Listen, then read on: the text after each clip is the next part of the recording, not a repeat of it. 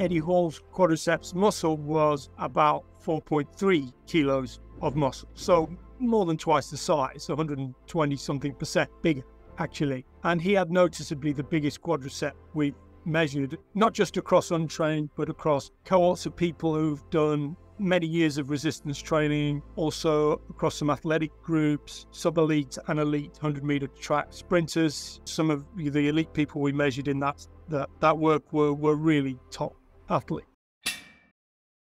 Hi, Jonathan. It's my pleasure to have you on Evidence Strong Show. If you could briefly introduce yourself. So, my name is Jonathan Folland. Uh, my formal title is Professor of Neuromuscular Performance here at Loughborough University in the UK, which means I'm interested in all things to do with the function and performance of human muscles. Excellent. I invited you to talk about your study that has been just published on the world strongman and deadlift champion. Are we allowed to say yes. the name? Yes, you are. So the study was done with Eddie Hall, who in 2017 was won the world's strongest man competition. He was also a deadlift world champion and former world record holder in the deadlift, having done a deadlift with 500 kilos. Yeah, we have his permission to share that it was him. So that's all fine. Awesome. So why why the study? Why have you decided to research Mr. Eddie Hall? Yeah, well, we we have quite a well, I have a long long standing interest in muscular strength and strength training, and um, so I've kind of been interested in the things that uh, the reasons, the anatomy, physiology, biomechanics for why some people are very strong and some people are weak for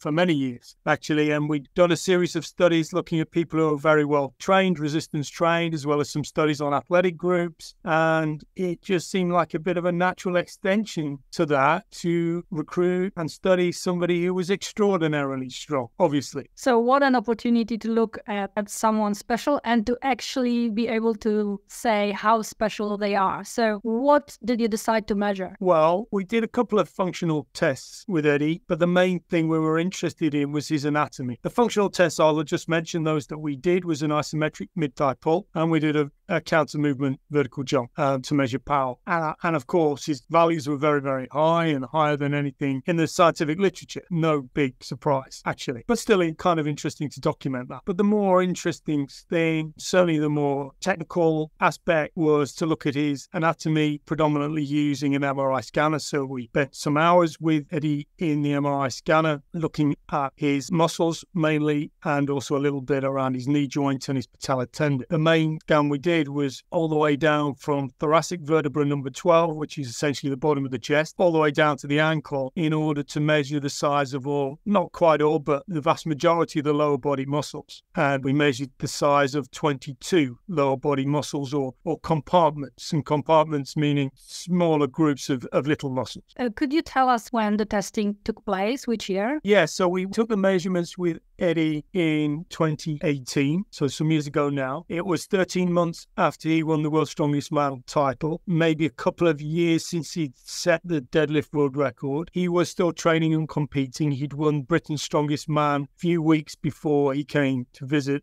us. So he was in reasonable shape. He probably was not in peak condition compared to what he'd been like a year before. But he, he was absolutely still training and competing. All right. So w- what have you found? Well, we found a really interesting pattern to his muscular development. Obviously, he's overall got lots of muscle generally. But when you get down to the level of the individual muscles, it's not quite as simple as that at all. So we found that some muscles were that much bigger to untrained control populations, such as the bicep femoris short head, which is a, a knee flexor muscle. Uh, perhaps about, it was around about 25% bigger in Eddie Hall compared to untrained population, which isn't that much bigger, especially considering he's basically just a really big guy anyway. You know, he's he's taller than average. He would almost certainly weigh more than average. You know, even if he hadn't ever engaged in any resistance training, I would assume. So the fact that that muscle's maybe only 25% bigger isn't isn't much of a difference really. Very much in the normal range. The the iliopsoas which is actually quite a big hip flexor muscle that was around 30 35% bigger. So some of the muscles involved in these actions which he probably doesn't train that much knee flexion hip flexion not that important in lifting and carrying heavy loads, not that much bigger. Then, as you go through the, the muscles, many of the muscles involved in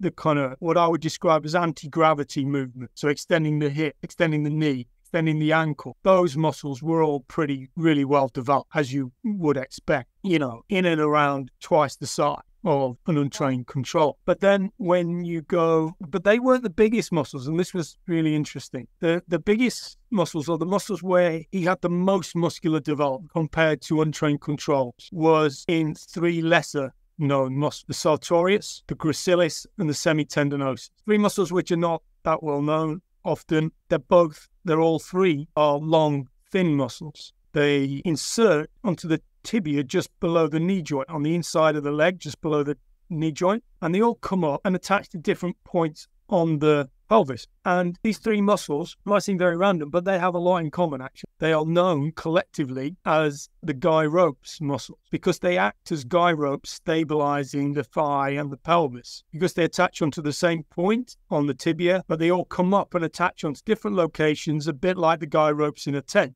They help to stabilize the pelvis. So it's super interesting. They were the biggest muscles. Sartorius, for example, was three times the size in Eddie Hall compared to a normal person. I mean, three times as big. I mean, that's incredible. Anything interesting in tendons? Yes. So we looked in particular detail at the uh, quadriceps muscle tendon unit, which involves the quadriceps muscle, which is the big muscle on the front of the thigh, and the tendon that it is attached to, or as part of that muscle tendon unit, is called the patella tendon. And what what we found is that in terms of the muscle, first of all, the quadriceps muscle overall, an average person has a quadriceps muscle, which is uh, the volume of which is just under 2,000 cubic centimeters, which equates to more or less two kilos of muscle. Eddie Hall's quadriceps muscle was about 4.3 kilos of muscle. So more than twice the size, 120 something percent bigger, actually. And he had noticeably the biggest quadricep we've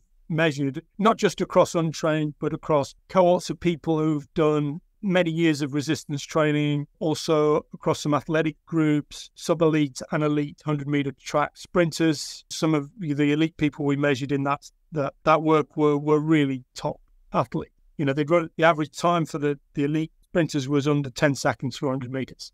So that these were really good athletes.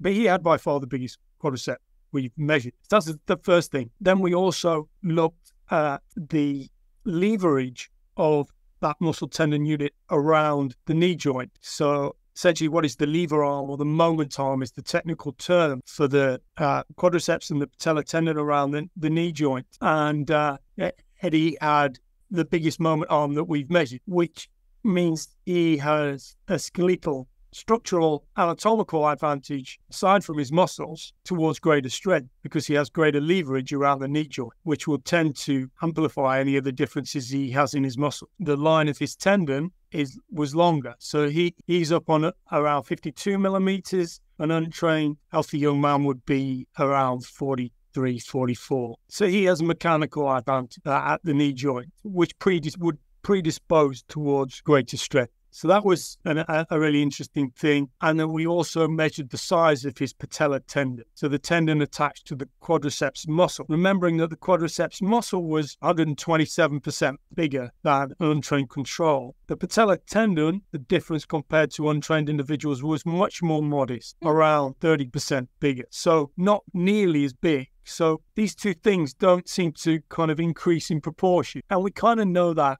actually, because we know that muscle is very adaptable. With training, muscle will respond and muscle will grow and hypertrophy occurs, but tendon much less so. Uh, so it's interesting to speculate about you know, is that is tendon being bigger? How much of that is due to kind of nature his innate characteristics, how much of it is nurture or the environment and his training that has created the, the bigger tendon and the bigger muscle, actually. But it seems that the tendon doesn't seem to adapt to nearly the same extent, which is super interesting, but reinforces actually kind of what we know from shorter term resistance training studies, where the tendon hypertrophy or growth of the tendon is quite limited. May, small changes may occur, but only quite small. Have you found anything unexpected? Something you because you, you have a huge knowledge, you have huge experience, you tested hundreds, if not thousand, thousand people before Did, was there anything that you were like, wow, I have not expected that? Well, I guess the pattern of muscular development. You know, if you'd asked me in, in advance the, the three muscles which would be the biggest in the you know most developed in a in a world's strongest man champion would be the sartorius, the gracilis, and the semitendinosus. I would never have guessed those muscles. Huh. It's not that I wouldn't have thought that they might be quite well developed, but would I have thought they would be the most developed? No, no, no, no, not at all. Not at all. So that was completely new, completely surprising and, and, and fascinating. Yeah, that would be the biggest one. Awesome. Uh, last question where people can find you if they want to look at your other studies or they want to keep up to date with what you're doing. Yeah, well, I have a web page on the Loughborough University site. Um, you can search for me in, in PubMed and, and, and other uh, search engines to look at my scientific publications. All right, gentlemen. Thank you so much for tonight. Okay. You're welcome. Thank you.